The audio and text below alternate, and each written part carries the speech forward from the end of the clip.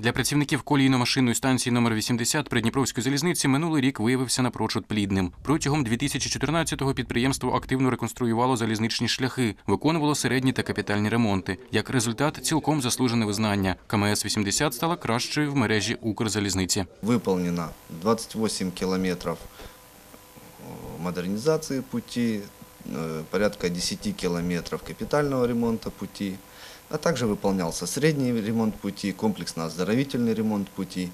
Поставленными планами мы отработали на 117% сверх плана. То есть свою задачу мы выполнили, несмотря на то, что год был очень тяжелый, и надеемся на дальнейшие наши успехи.